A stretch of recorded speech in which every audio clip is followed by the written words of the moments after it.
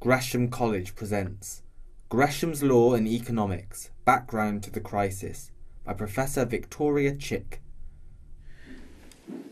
Well, I, I hinged the talk on so called Gresham's Law because of where I am, and I'm enormously pleased to be in this distinguished place. Um, but the analogue that I'm going to try to um, draw is with economics, where I argue that bad theory has driven out good theory. Uh, I don't know whether theories have a price, uh, much less if they exchange at the same price, um, but I think we can leave that aside. It's just a rhetorical device, after all. Um,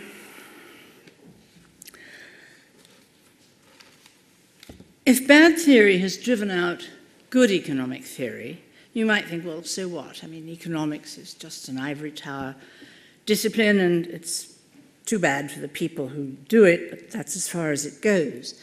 That is not the case. Economics can influence the future of its own subject of study, and has done. This is very obvious in the case of the present crisis. The fingerprints of bad economic theory are all over the policies that helped to create the present crisis, and unfortunately, they're shaping the policies employed to deal with it as well. So, everyone here is affected by this state of affairs. We are all paying the price of the success of bad economics, and you deserve to know something about it and how it has come to be so dominant within the economics profession and influential outside it. Most of you will know this picture.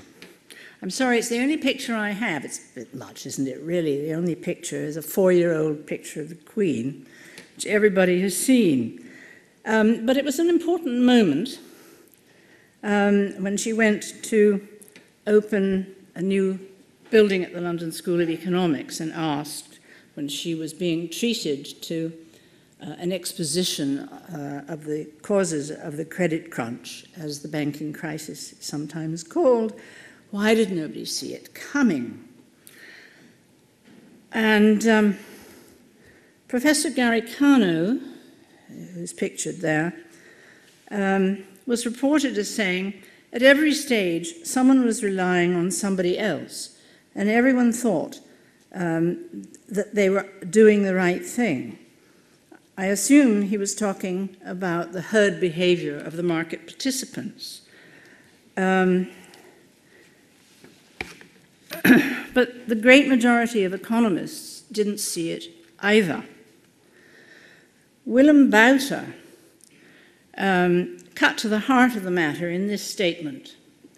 Mainstream macroeconomic theories not only did not allow questions about insolvency and liquidity the factors at the heart of the banking crisis, to be answered, they did not allow such questions to be asked. There was no place in these theories for illiquidity and insolvency. They couldn't happen, but they did happen. Another answer to the Queen's question is even worse, for it exposes something unpalatable at the heart of economics. One economist remarked that the banking crisis was the best predicted crisis in history.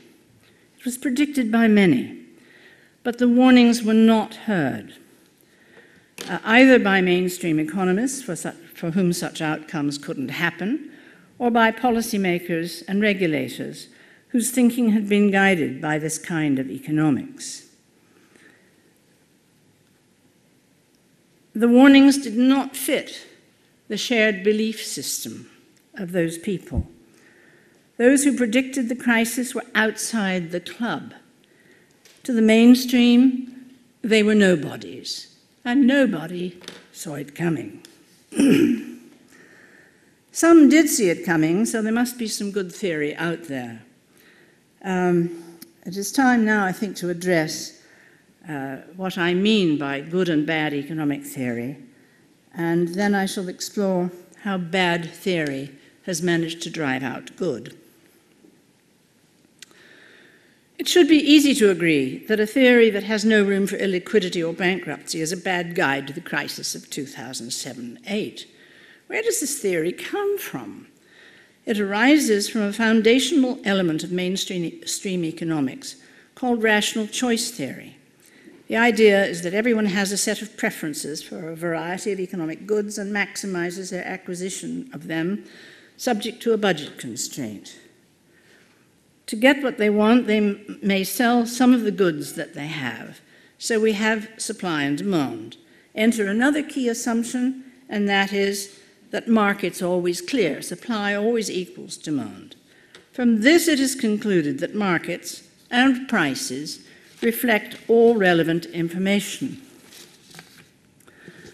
When applied to something that is wanted only for its monetary return, such as financial assets, uh, you have to allow for the fact that the future price of the asset may vary. This constitutes a risk of capital losses. Um, this risk is modeled as a probability distribution, a bell curve, based on the past behavior of its price. Then, once again, the market is assumed to do its work. Risk is appropriately priced according to this theory. The fact that the observations taken um, from the past don't include a cataclysmic event like the one that we saw in 2000 and 2007 and 8 um, has a lot to do with why it was viewed as a set of impossible events. But this result, um, that risk is appropriately priced, is further generalized in what is called the efficient markets hypothesis.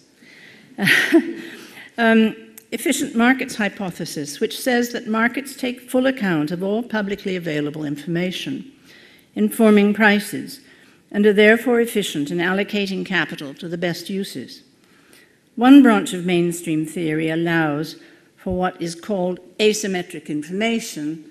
That's you knowing something that I don't, in simple language, uh, and the possibility that markets do not clear. But the perfect market remains the benchmark. Departures from it are called imperfections, rigidities, or market failures. This is why this group is still counted as part of the mainstream. If the efficient markets hypothesis is true and everybody believes it and acts on it, then all assets are equally liquid. The value the market places on any security um, is the correct price, and any asset can be sold immediately at that price. All assets are equally liquid. Okay? This is already quite enough nonsense, but there is more. The theory of rational choice has been further generalized into a theory of complete markets. It is proposed that there are markets spanning all possible future contingencies and outcomes in which agents maximize their acquisition of their preferred economic goods and assets subject to the constraint of income and their ability to borrow at all future dates. Since the budget constraints are assumed to be honoured and future contingent demands are known, bankruptcy is impossible. It is a perfect world. It is also a world which would exhaust human computational power and the resources to run such markets, but this is one of the central ideas of mainstream theory nonetheless. the trouble is, economists believe the results of their theory and they advise policymakers. This perfect world has influenced policy through which actual institutions have been refashioned more closely to resemble the perfect markets of theory. If markets are efficient, liquidity is no longer an issue, so let us relieve the banks of the burden of carrying low yielding liquid assets. Liquid asset ratios required of UK banks were reduced successively from 1971 onwards and in 1998 made voluntary. Um, the banks thus entered the crisis with no first line of defense. I'll just take you through this graph. Um, I don't know if you can see the years on the bottom. All right, it goes back to 1921. Um, the time that I'm talking about, 1971, uh, is the second part of that sharp fall. The first part is actually a change in the way the data is collected. Um, so, if you want, you can just think about um, the first part of this graph before the first fall, and then this little ledge, the second part. The second part is what was created by the change in 1971 called competition and credit control. You can also see, if, it, if you like that, what happened during the war. Constantly doing this, tracing it out on the screen. It doesn't make any sense. The dip is the war, and the peak is the um, position of the banks just after the war when they had a lot of surplus liquidity. But what is really important is that liquidity, liquid asset holdings of UK banks by 1981 was on the floor. And um, they entered the crisis with no defense at all against illiquidity, except the Bank of England.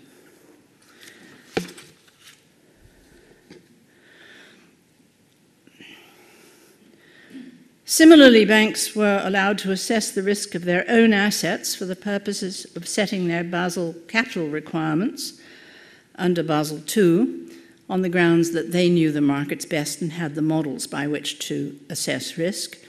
And the Financial Services Authority uh, also relied on the market and competition as the main means by which banks were controlled.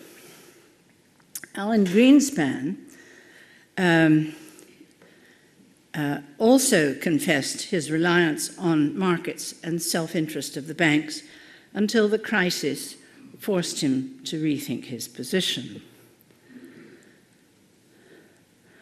One could ask what he means by self interest, because if the banks um, understood, and I'm sure they did, uh, that they were very likely to be bailed out if they went uh, over the edge, it was rational to go flat out as they did. So even self interest doesn't quite work here. Now, I just want to recap um, on the uh, items that I've brought to your attention, the aspects of economic theory which I think are absolutely foundational to mainstream economics. Uh, so I'll leave that slide up for a second or two for you to have a look at. I really cannot stress enough the importance of these ideas to mainstream thinking.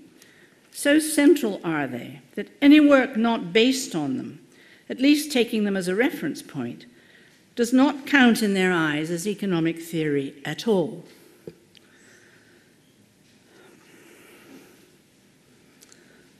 Unspoken, but very much at the background of this thinking, is another assumption that the choices of individuals can be aggregated to form markets without worrying about interaction between those individuals except through those markets.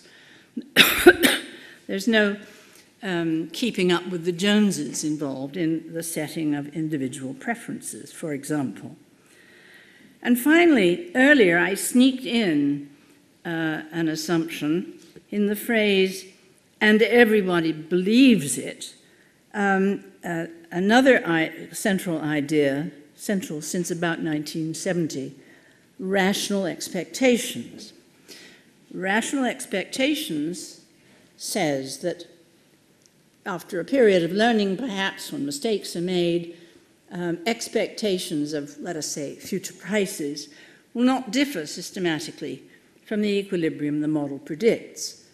Um, now, this, you could argue, assumes that the model is correct, but even if it isn't, if everybody acts as if it is correct, it will be self fulfilling until some aspect of the economy not included in the model brings that self fulfillment to a sticky end, as we saw.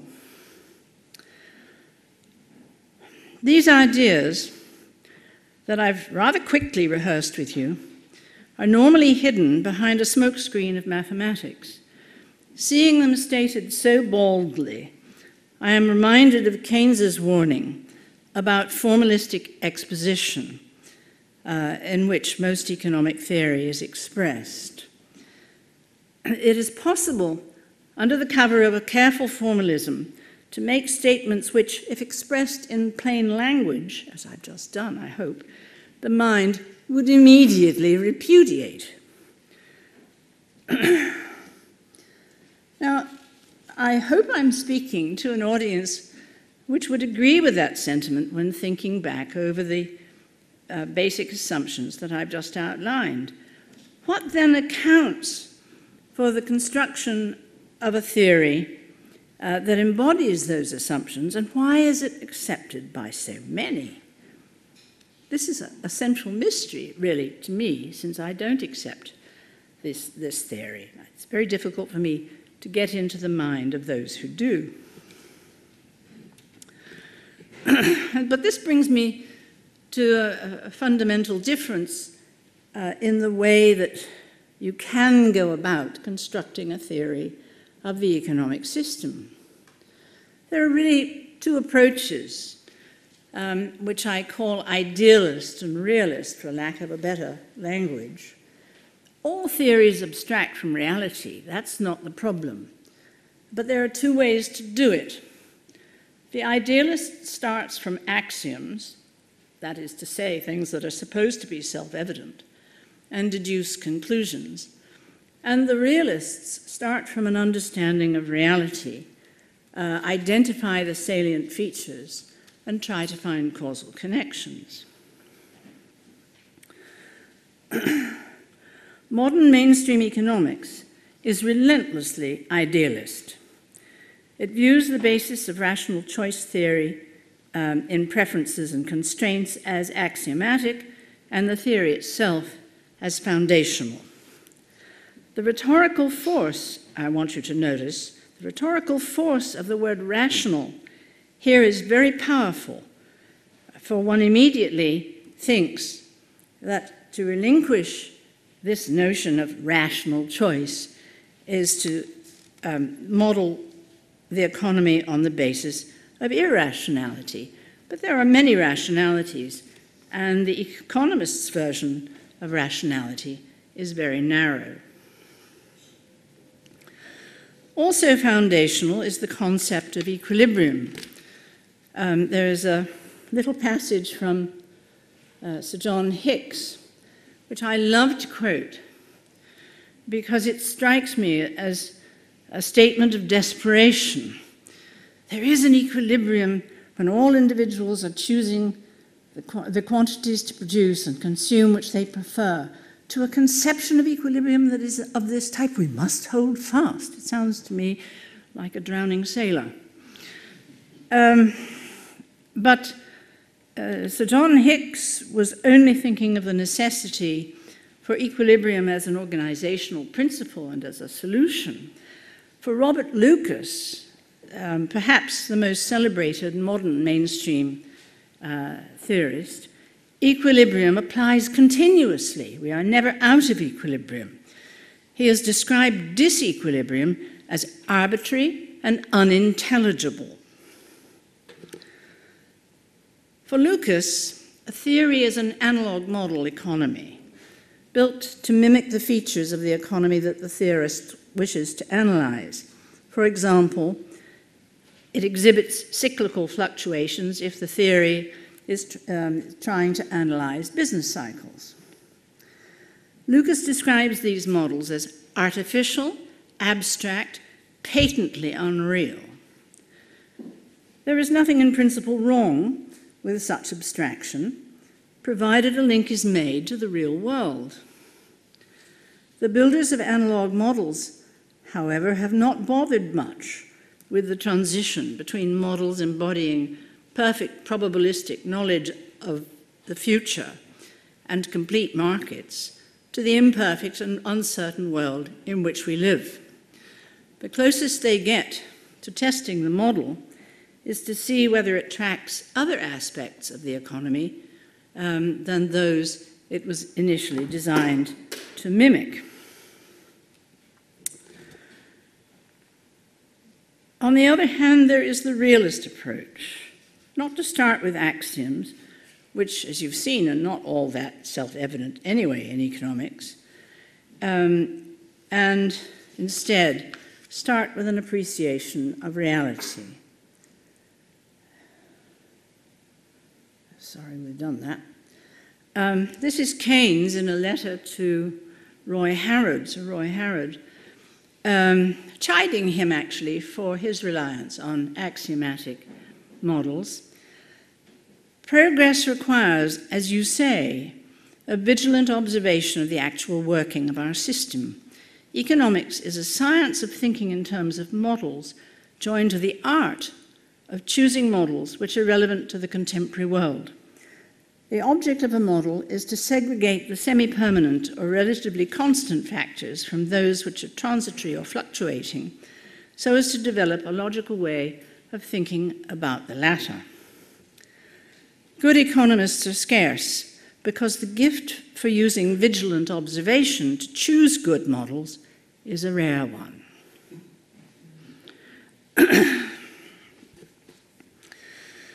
now, um, I've looked at the question of illiquidity and insolvency from this microeconomic perspective. Um, but when we turn to the question of the repercussions of the banking crisis and the response to it, we need macroeconomics, the study of the economy as a whole. When mainstream economists set out to do macroeconomics, they insist on starting from the same rational choice theory. This is called giving macroeconomics micro foundations. Yes. Anything not micro founded is unacceptable to them. It was in order to pursue the aim of rigorous micro foundations that the representative agent was adopted by mainstream economists. Everyone is the same. Everyone consumes, saves, and makes investment decisions. There are no differences between people from being, uh, attributable to being on one side of industry or the other. There is no influence uh, of one's position in the life cycle, and so on. Therefore, there can be no coordination failures, economists say, that is to say, the thing all meshes together perfectly, no borrowing, for there's no one to borrow from, and no speculation uh, for the same reason. Each person can know by introspection exactly what the future will bring forth because everyone is the same. In the real world, where individuals or groups act from their own interests and in partial ignorance of the larger picture, inferring the whole from knowledge of its parts risks committing the fallacy of composition. Avoidance of this fallacy through considering the economy as a whole constitutes the case for macroeconomics as a separate subject. It will not surprise you that mainstream economists deny the fallacy of composition, and regard macroeconomics as having no right to a separate existence. This all follows from the wheeze of the representative agent. But the fallacy of composition is at the heart of the current debate about government expenditure cuts. The government says that paying down debts is just like paying off its credit card, it must cut its expenditure. The opposing argument looks at the repercussions on the rest of the economy. When income, incomes of government employees and revenues of their suppliers fall, um, those employees and suppliers will also cut back, the economy shrinks further, and tax revenue falls. The debt position could end up worse than before. Indeed, I did a study of 100 years of data to show that this is extremely likely. You and I can pay, pay off our debts by cutting expenditure, but the government is just too big, uh, and uh, its actions have feedbacks to its own position. It's not actually in a position to say what will happen to its deficit. by its own, by its own actions. So there, there is one repercussion on a current debate directly related to two views of how to make macroeconomics. The government's rejoinder to this um, expectation that cutting their expenditure would uh, further damage the economy uh, was the opposite, that the private sector would fill the gap left by the cuts. This too has its origin in factors we've already seen. Market clearing, so that there is always full employment, and that implies a constant aggregate income. So if one sector in the economy goes down, the other sector will go up to compensate.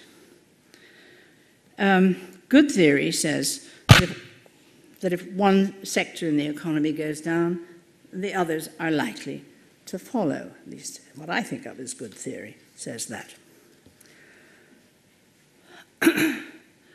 Returning to the question of the use of economics to understanding the financial crisis, it may shock you, it ought to shock you, to know that the financial sector does not appear in most mainstream economic models. There are at least two reasons for this. First, except for, the, for international capital flows, one person's debt is another's asset. So, in aggregate, domestic debts and assets cancel out and are therefore dropped. A second reason discouraging the inclusion of finance is the proposition that money, and by extension finance, is neutral in the long run when the quantity of money changes. Uh, sorry, sorry, when the quantity of money changes, all that happens is that prices change by the same proportion, leaving the real economy unaltered. This is an ancient idea. It's been around for at least 350 years in print, and probably more than that um, uh, verbally. Um, and it gives rise to an idea called the classical dichotomy. Um, this is the idea that you can divide the economy into a real sector and a financial sector, and that they're separate, and money only affects prices, it doesn't affect what goes on. In the real sector, it's merely a veil, slightly obscuring the real mechanisms uh, at work. Again, you can see this uh, most potently in the brief given to the European Central Bank, which has responsibility for inflation only, uh, uh, or the Bank of England's brief uh, to target inflation and only subject to that worry about employment and other factors um, in, in the macroeconomy. In other words, the central banks deal with money, money affects prices, give them uh, an inflation target uh, because um, money won't affect any other aspect of the economy. This is nonsense. But it is very powerful and it's embedded in our institutions. Good theory, by contrast, knows that the real and financial sectors are interrelated. I don't think there's any question about that. Anyone with common sense, it's so nice to talk to people whose common sense isn't corrupted by studying economics. Um, anyone with common sense knows that to be the case. well, we've had enough bad theory. What about good theory? I'll give you only two examples. Um, a Dutch economist looked closely at um, those who actually did manage to predict the crisis. He was, um, most economists looked at the situation in the USA um, between, say, 2000 and 2006, well before things went bad in late 2007. He set up very stringent criteria. They had to explain why they came up with these predictions and so on. And he found that those who passed his criteria um, shared certain features. They looked at the debt or credit flows in the financial sector. They distinguished between real and financial wealth. They knew what the links were between the real and the financial sectors, and they used flow of funds data. They were vigilantly observing the flow of funds data to come to their conclusions.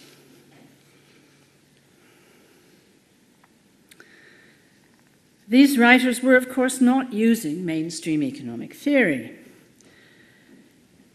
The crisis had sent a good many people scurrying back to look at the works of John Maynard Keynes, but even Keynes didn't look at the buildup of debt that is the counterpart of a long period of capital accumulation. Still less did he foresee the swelling of the financial sector that so unbalanced the advanced economies before the crash. In his time, the financial sector was tightly regulated and was not able to escape its role of servant to the real economy to become, as it did, the master of the real economy.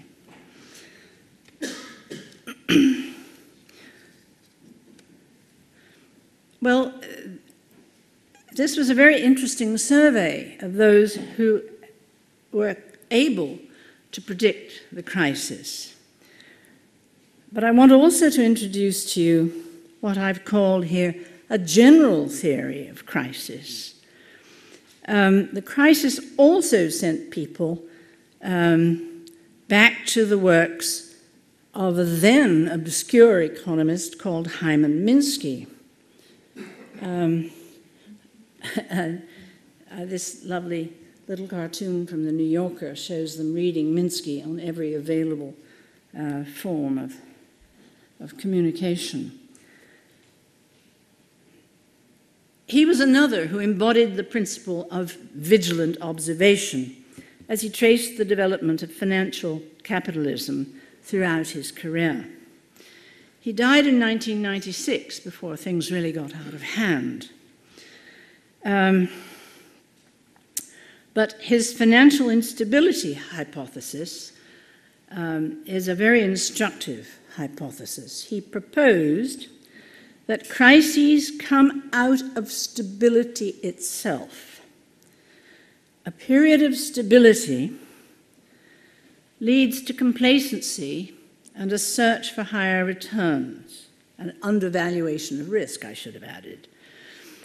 Um, because stability leads to complacence, um, because things look so solid, people take more risk, and the economy may move in stages from what he called hedge finance, where the cash flow uh, experienced by firms and households uh, was adequate to cover both interest payments and the amortization of borrowed capital, um, to speculative finance, in which um, the cash flow is only adequate to cover interest payments.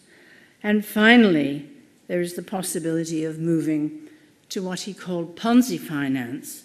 Ponzi was a, a, a New York con man, um, in which interest can only be covered by further borrowing. And when that happens, the debt, of course, becomes unsustainable. Minsky's vision really couldn't be farther from the complacency of what has been called the Great Moderation. This was a phrase popularized by Ben Bernanke in 2004. He didn't have very long to be proved wrong. Um, Bernanke, as you know, is now chairman of the Federal Reserve Board of Governors. Um, it was believed at that time um, that fluctuations in GDP had become smaller, the whole economy had become more stable, we knew how to do inflation targeting, and in Gordon Brown's memorable phrase, we had abolished boom and bust. Minsky would say that in a period of great moderation, that was exactly the time to worry.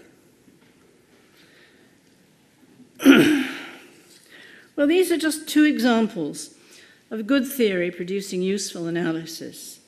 Many economists are working in this realist vein, but they find it difficult to gain a hearing because bad theory has driven out good. Why were the warnings ignored? There are more or less benign reasons and some more sinister ones. Amongst the benign is that no one wanted to spoil the party. Think again of Gordon Brown, this time at the Mansion House in 2006, praising the banks for creating so much wealth.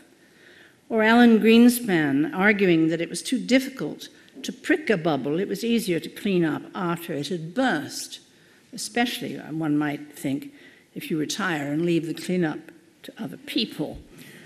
um, but I hinted at the beginning, well, more than hinted, that there were less benign forces at work. And I think you should understand these.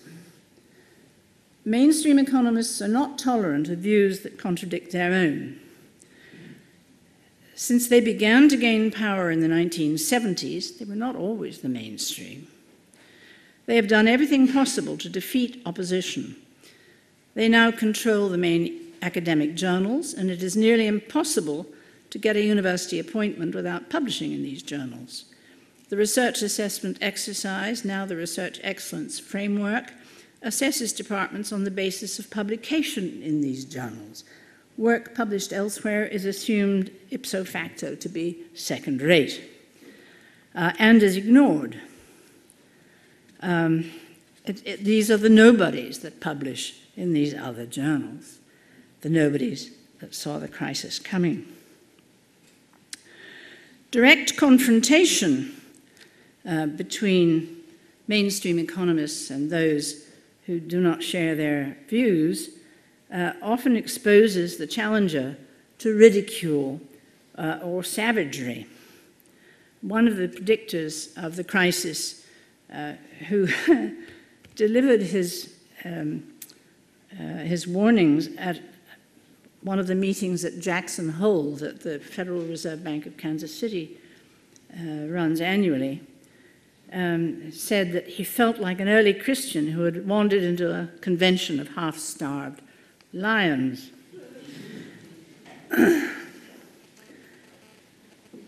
this ridicule and savagery is not new and is less important, actually, than the capacity to ignore.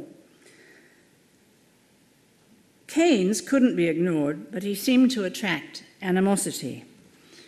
Um, the general theory was subverted even by his close associates, and Lionel Robbins mounted a campaign to counteract his influence, including bringing Friedrich Hayek to the LSE specifically for that purpose.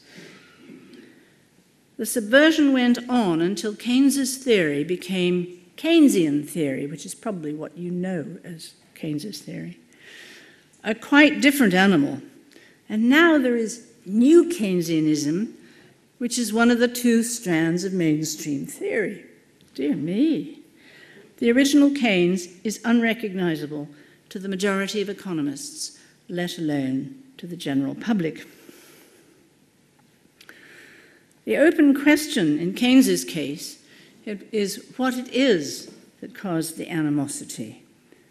What was the objection? Was it to his change of method, introducing true uncertainty about the future and challenging the market clearing notion of equilibrium? Was it to elements of his theory, such as the ref- refusal of the classical dichotomy, or to its political implications, which were very far reaching? He concluded that the economy was not self correcting, that the free market was flawed and needed intervention to function well, that monetary policy, particularly interest rate policy, favored the financial sector rather than industry, and that the, the direction of capital accumulation uh, was in the hands of those with too short a time horizon and couldn't be left entirely in private hands. These are rather explosive conclusions. But it could have been any of these things. Any one of them was quite enough uh, to get some people um, ready to oppose him. And these considerations still apply today, still demarcate mainstream theory uh, and what is known in the trade as heterodoxy. Um, now,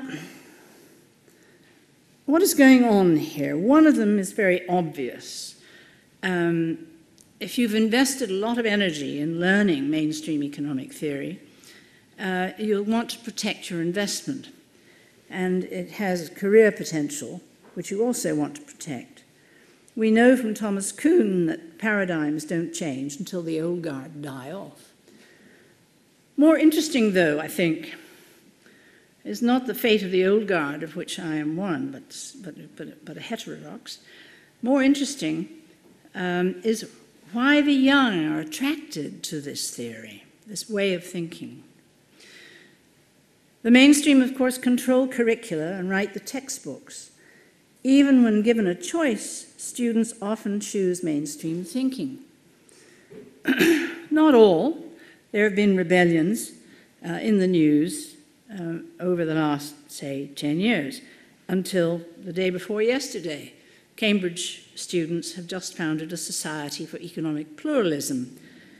Um, but mainstream economics does have a certain appeal. Its models are precise and give demonstrable conclusions, where an open approach, such as that of Keynes, requires knowledge of the economy and judgment over what to, to include. The younger you are, the less you trust your judgment because judgment depends on experience. So you gravitate toward the precise and the definite and the demonstrable conclusion. There was a survey of students in top US graduate schools. Uh, they, are, they were asked what makes a successful economist. I'm not going to read this list to you, it's too depressing. But notice that, like nice guys, the economy comes last. Um,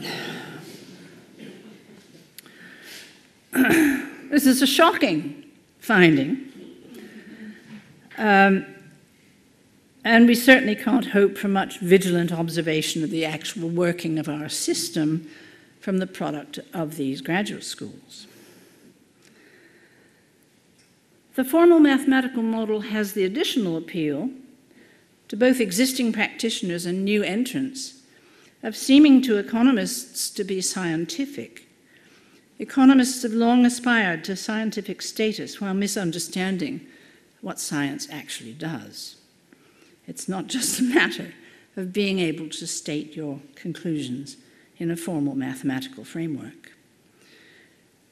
At a deeper level, the level of what Sheila Dow has called the mode of thought, there are also features which some find congenial. For example, mainstream economics derives from a dualistic mode of thought. Is it A or not A? And there can be nothing in the middle. Um, now, one can see that immediately in the classical dichotomy, for example. Um, but a dualistic mode of thought is particularly congenial to the young. The young like black and white. Grey areas require judgment, and uh, you have to learn to handle ambiguity. So the younger they are, the less comfortable they are with them, and by the time they've got some experience, they've forgotten how to use it.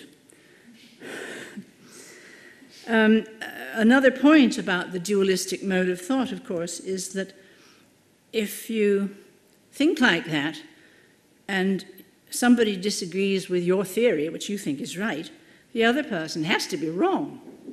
And this gives mainstream opposition to its alternatives its particularly hard edge. Finally, I have to er- enter the area of ideology you know the problem. What you say is ideological, whereas what I say comes from pure conviction. Um, but there is no doubt that mainstream economics, particularly the new classical variant, which is what I've mostly been discussing in the section on bad theory, supports the proposition that free markets lead to an optimal solution. And as we know, um, free markets are regarded by some as desirable for their own sake. Someone once said that if mainstream economics did not exist, capitalism would insist that it be invented. When neoliberalism is in the saddle, espousing an economics which is so supportive of free markets uh, creates the opportunity to give policy advice, which makes economists feel important and valued. Um, sometimes to hold high ranking policy posts, think of Larry Summers, for example, and to undertake the lucrative consultancies. I trust you've all seen the film Inside Job, and if you haven't, find it on DVD or something. It's an extraordinary document. Heterodox economists may give evidence to the odd select committee, but it rarely goes much further than this. The message is clear. If you want to speak to power, make sure you say what power wants to hear, even if the correspondence of your theory to the real world is, to put it mildly, problematic. In all these ways, bad theory has managed to drive out theory based on vigilant observation. What I have disobligingly called bad theory is the direct descendant of what Keynes called classical theory. And of this theory, he wrote The characteristics of the special case assumed by the classical theory happen not to be those of the economic society in which we actually live with the result that its teaching is misleading and disastrous if we attempt to apply it to the facts of experience. And so it is proved. Bad economic theory has been used to change the world in its own image, with the connivance of governments that relaxed regulations to enable those changes to take place. Business people, especially bankers, took full advantage of the opportunities thus offered. The results include a financial system which proved fatally fragile and austerity policies which are not only personally and socially disagreeable, but may also be self defeating. Worst, in two countries so far, the crisis has undermined democracy. I would say it has been used to undermine democracy, but that is a subject for another time. It's rather, rather a full one. I conclude, therefore, that the uneven fight between good and bad economic theory is not a private squabble amongst academic economists, but a matter of profound public importance. Thank you.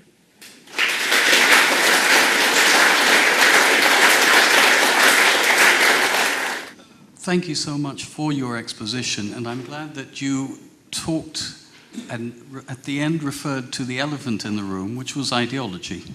Um, I think this is a key point and has to be addressed in order to uh, see a way forward.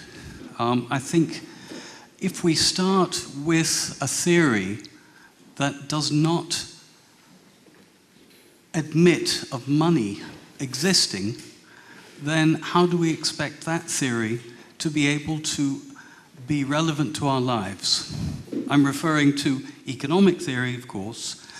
the, so I wonder if you could comment on, on that. I think we have to go right back to the foundations of so called economic theory in order to look at this. Um, the other th- elephant in the room, I think, is business and management, which equally has got to be addressed because this is uh, quite a different um, uh, animal, shall we say. So I think these points have to be addressed. But I thank you for your clear exposition of at least um, where we are and where economic theory isn't. Could, could I just um, ask for a little clarification? of what you have in mind when you're talking about business and management. Could you expand on that a little bit well, for my sake? Yes. It, I saw industrial economics in the mid 70s at its high point, and then I, I, left myself academic economics, and I was bemused to see that industrial economics from that point went on, went into terminal decline. Um, I mean, if you look at the works of, of Andrews, I think he's the prime example. Um, it's just Plant, Arnold Plant. Fine, and and to, to look at similar similar studies now is uh, it's incomprehensible to see how we go from a, a position in the late 60s, mid 70s, where there was really a very good body of, I wouldn't say theory, I would say practice concerning um, economic and commercial institutions to what we have today. So that's what I mean by management and business. Is I, I think. Thank you. Yeah. Yes, thank you, Professor. I'm uh, the general public. I'm not an academic or. Um, it's simply this that um, in the early 2000s, three, four, five, I think many people in the general public that took an interest were aware of the coming problems. You mentioned bank liquidity and reserves. Uh, the subprimes were uh, given wide publicity, TV documentaries, um, levels of debt uh, sovereign debt, corporate debt, triple P, and so on. So even those members of the public that had concerns saw, or we thought we saw, what was coming. The element that you perhaps didn't mention, although you mentioned Mr. Brown, is the politics of it all. So even in recognizing these issues and perhaps listening to different advice, politicians perhaps uh, are stuck with a failed or, or, or failed uh, strategies. Is that the case? Uh, question, if I may, uh, Professor. Thank you very much for the presentation. Um, the question is very much one of uh, the fact that we see Western society these days spending beyond its means, and whether any of the economic theories actually would stand water if we continue such behavior.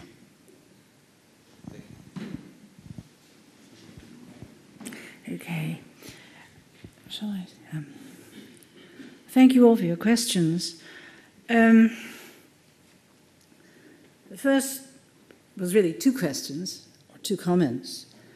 Um, and of course, ideology is really the center uh, of some of the problems.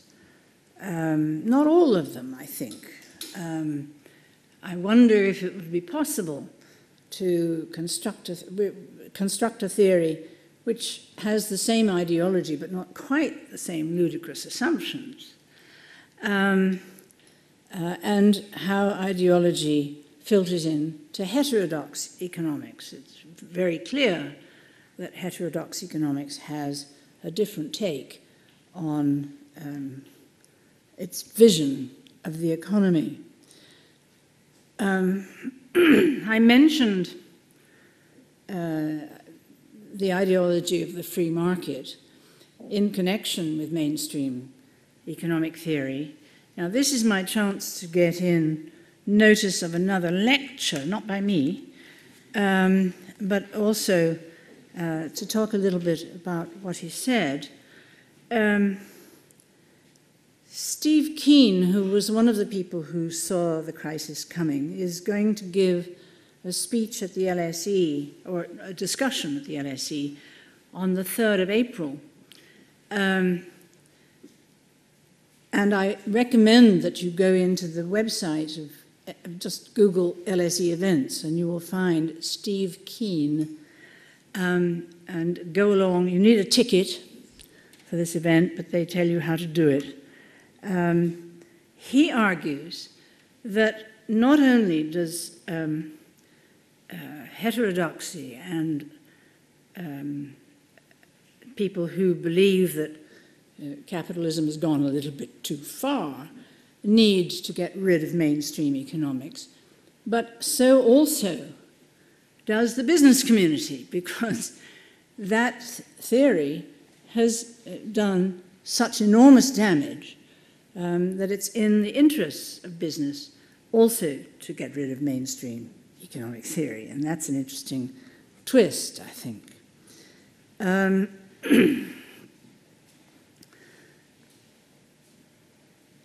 you concentrated on the fact that the theory has no money, but there are so many absolutely insane assumptions that one can focus on um, that really probably the simplest thing to do is to scrap it all and start again. Uh, certainly that's what Steve Keen would advocate, and I think I do too. Um, and your point about business and management, of course, is one about vigilant observation. What uh, actually motivates those institutions? How do they work? How do they interact? Uh, when do they go off the rails? What um, incentives have encouraged them to go off the rails? These are all questions which these days uh, industrial organization should be asking, but instead, as you know, it's become uh, a very abstract branch of theory as well. So I think the second part of your question reflects directly on this matter of a realist outlook. And I, I, call anything theory which systematizes ideas, and I think um, that you would agree with that. Um, uh, and industrial organization has become an idealist project, to use the language that I've, I've used heretofore. So I agree entirely. um, your point about the general public being aware that there were difficulties and perhaps something nasty around the corner uh, in, in the early 2000s just makes my point that it's much nicer to talk uh, to people who are not infected with mainstream economics they have much more going for them, uh, and they are not blinded by um, the, the, presumptions of mainstream economics. Uh, I, I bring up mainstream economics in order to let you know what is really going on there and how dangerous and insidious it actually is. Um, the politics, of course, is embodied in this question of, of not wanting to spoil the party, um, not knowing what else to do, encouraging the financial sector to grow, and, and because you don't understand the difference between real and financial wealth, um, congratulating the, the, the banks for creating all this wealth, which was just a lot of hot air, as it proved. Um, so uh, I think that politicians are not immune um, from the deleterious effects of mainstream economics. They're, they're, they're advised by these people, they take in their ideas, uh, and that is partly what limits their vision of what to do. I hope that's something of an answer to your question. Um, as for Western society's spending beyond uh, their means. This is a difficult one because whatever you produce will generate income, uh, and you can spend that income. Um,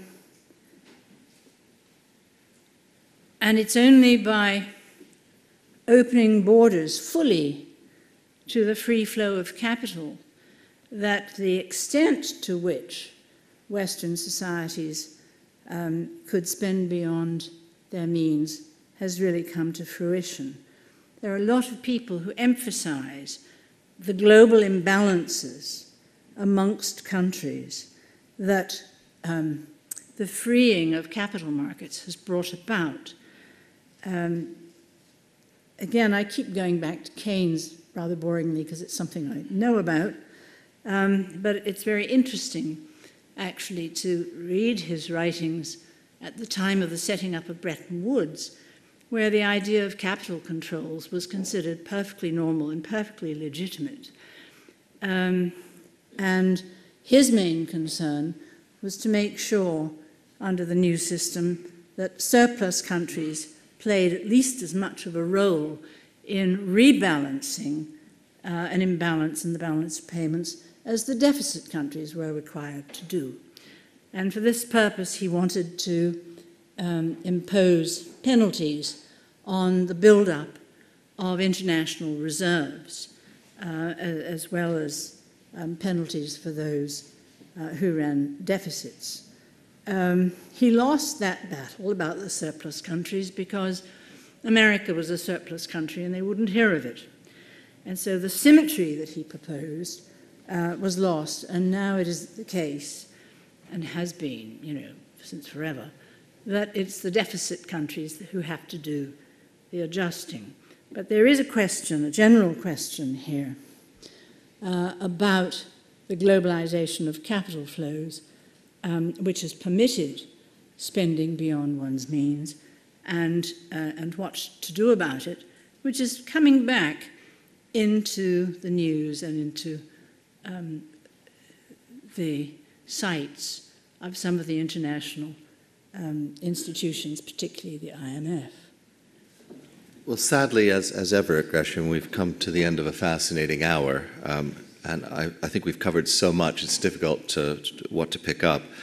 I uh, did take a few points I'd just like to share with you, if I, if I might, in closing.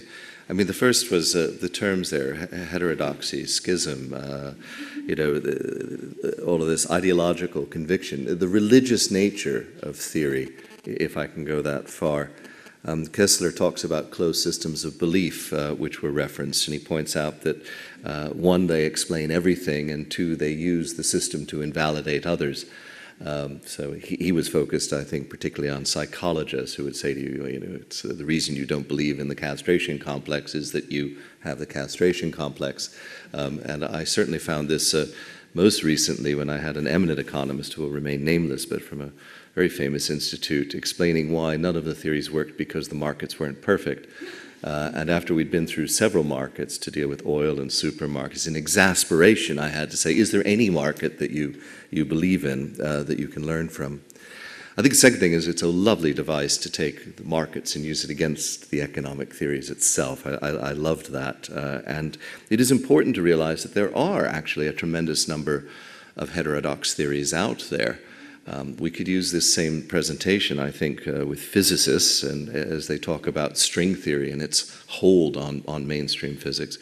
But the, the, the many other theories out there, I think, in economics are possibly the hardest to accept because you'd have to admit, you'd have to dust off Minsky, who was there all along. You'd have to dust off Keynes's Bancor, as the Chinese have done recently, and say, gosh, it was there all along. Or in the case of money, you'd be going back to chartalism or, or modern monetary theory, modern meaning 1900. Um, so there are uh, some interesting problems for economists, unlike many other fields, admitting that perhaps uh, what was written at the time of Aristophanes had some validity. Uh, and finally, um, I'd just like to close because I, uh, as the leading Keynesian uh, scholar, uh, in the country. I think it's lovely. Um, and the one bit of Keynes that I picked out of the lecture, which I think does ground us in reality, was that lovely quote uh, that really our, our job is uh, to choose models which are relevant to the contemporary world. And I think that's what we failed to do. And I think uh, Victoria's challenge to all of us is to find those models, old, new, uh, undiscovered, uh, dust them off, and let's see how relevant they are to today's world. Would you all please join me in thanking uh, Professor Victoria Chick for a most stimulating lecture? Thank you.